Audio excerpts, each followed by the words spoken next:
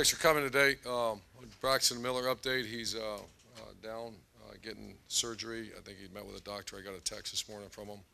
He met with, uh, I believe, Dr. Andrews today, and surgery is set for tomorrow. Is that correct, Jerry? That's correct. And um, uh, JT and Cardale have responded very well.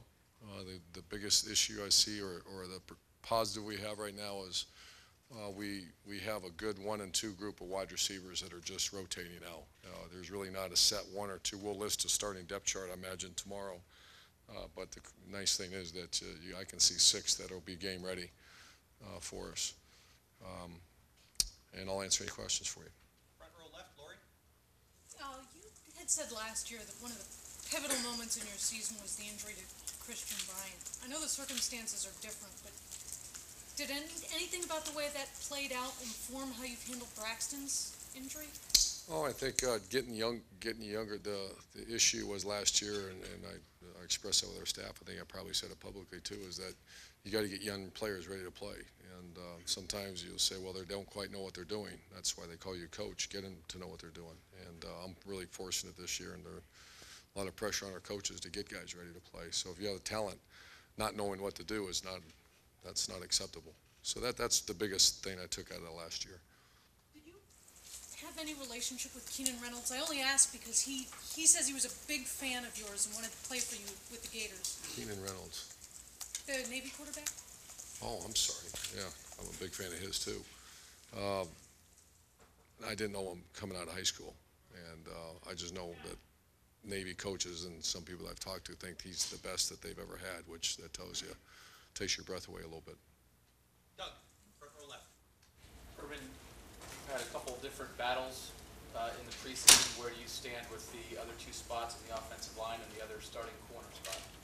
Left guard's not uh, named yet, and it's not because of ability. It's just uh, we haven't. One of the guy hasn't separated himself. So in the hunt are still Joel Hale, Billy Price, uh, Tony Underwood. They're still in the hunt. Uh, who is the other position? Center? Center is going to be uh, probably be Jacoby and uh, um, Chad Lindsay. Will uh, we haven't named a center a starter with that yet either. So those are the two. But it's once again there's it's still because the battles are going on. The other corner spot? The other corner, it's Eli and Gareon. We haven't sep- they haven't separated themselves yet either, which is a good sign. They'll both play.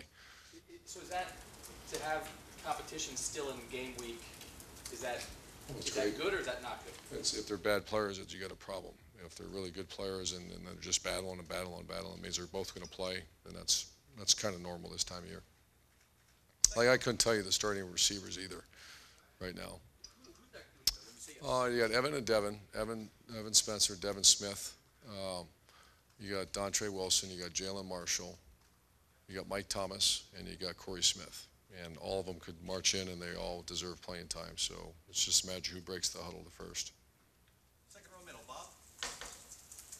For as long as you've done this, do you ever have a, does your anxiety level ever change before the first game based on graduation losses or last-second injuries, quarterbacks or? Well, it's who you play a little bit, you know, and that's I have such respect for the United States Naval Academy, and and uh, and you know I played them when I was at Notre Dame every year, and then we played Air Force every year. I was at uh, at Utah and Colorado State, so I just and it's it's uh, typical back uh, when Air Force was uh, winning the Commander in Chief trophy all the time, like Navy does now. It's just you know incredible. Uh, uh, efficiency on offense and that odd 3-4 defense where they're all over the place. So it's with good players, and so that's there's a little.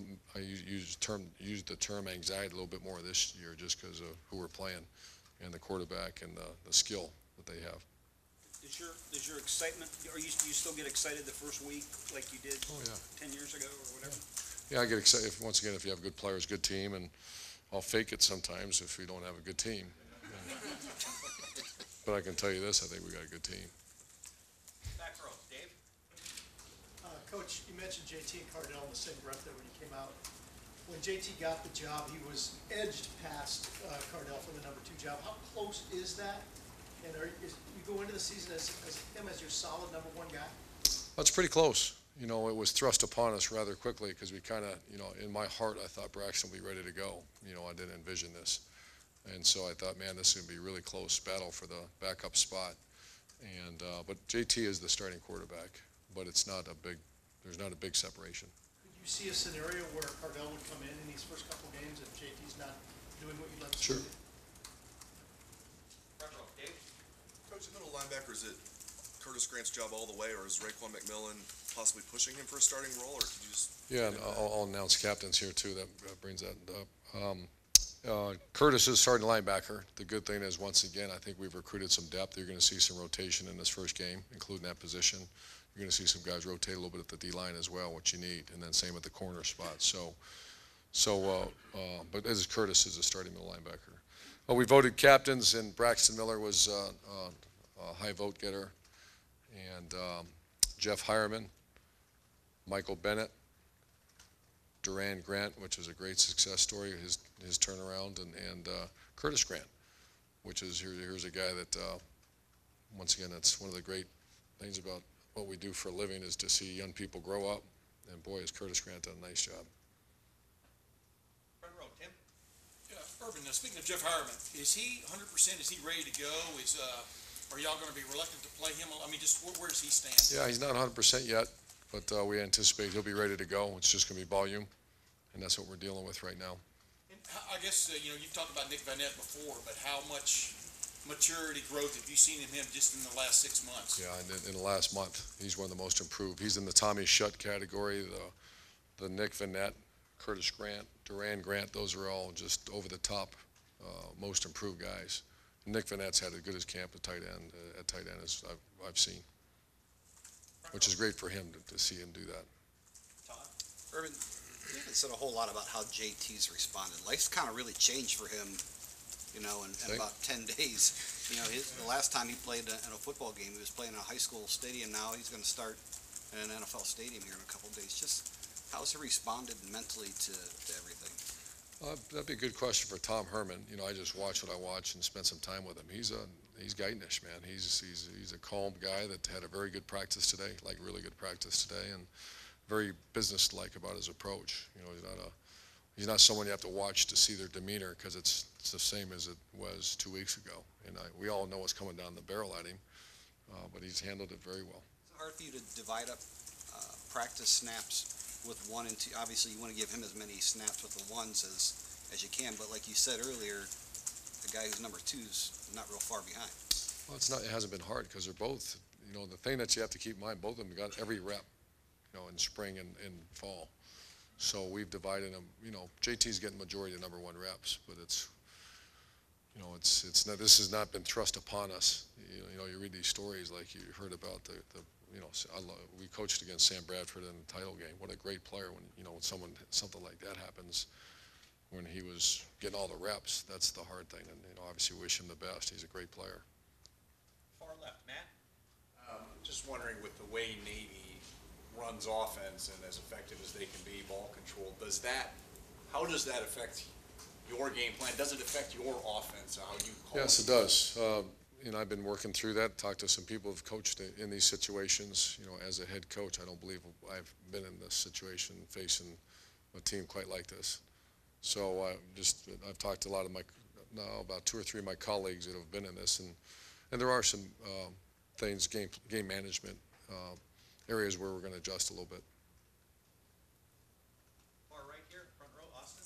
Urban, when you guys, a couple of years ago, started looking for a quarterback to recruit and settle on JT as maybe the first, you know, guy signed at Ohio State, what was it that initially struck you about him, made him a guy worth recruiting? Oh, it was, uh, he, he went to Elite 11, and I remember we talked to some people that were there, and his competitive spirit is something that, and, and you can see it now, is it just kept coming back to us, especially at that position. And one thing nowadays, quarterbacks are committing so early that you're not getting, normally we, you know, back in the Tebow, Cam Newton, uh, Denard Robinson era, when I was at Florida, you, you know, they went to your camp, you evaluated them, you watched them, and, and now it's, kids are, you know, saying, well, I'm gonna go here because you haven't offered us yet, and I'm a sophomore. You know, those are, coaches are put in really, really tough situations. And so JT was a guy that we were, was one of our guys. And then, uh, then we had those camp, you know, kids wouldn't come to camp or for whatever reason. And then we just did as much homework as we could and he decided he's the one that we wanted. You've spent the last couple of years trying to bring out more vocal leadership in Braxton. JT, is it fair to say he's more natural at that? A little bit, yeah, he's not a loud guy, but a very confident guy, though. Yeah, and he's, he's a lot like our previous quarterback, uh, Kenny. Very, uh, they kind of migrate to him. Far left, Rusty. Um, Urban, is Ezekiel Elliott full go now? And He's full go. Could you talk about the pecking order? of Yep. running? That's very odd. Rod and, uh, Rod and Bri'onte had a great camp. Warren Ball has, uh, been, um, he had a slight concussion, so he hasn't practiced the last few days. And you have, uh, four guys, uh, Curtis Samuel, Zeke, uh, Rod Smith, and Bri'onte Dunn have all had, uh, they're very involved in kicking game, which is you can't carry the ball unless you're involved in the kicking game, and, and they're all very involved. Is this a good first step that you're playing on a neutral field rather than playing on somebody's home field? You can kind of, uh, I don't know, it won't be. I'd much rather play right there. No one asked, though.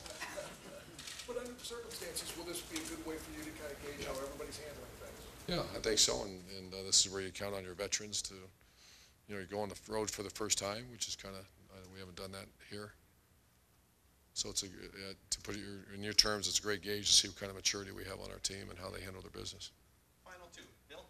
There were a lot of questions even ten days ago about this team, then you lose Braxton. How ready do you think this team is for the season? I think we're pretty ready. I like where we're at, especially after today's practice, and, and uh, I like how they responded to Braxton's injury, so I think we're pretty ready. And final question. Steve? Two things. First of all, Miller being a captain and not able to play in the games, that's a kind of an interesting dynamic. How does that factor with travel squad? And I presume he'll be at every one of your games.